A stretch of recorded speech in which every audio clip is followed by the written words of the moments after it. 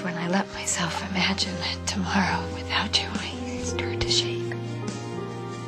Listen, if there was any way that I could take you with me, I would. I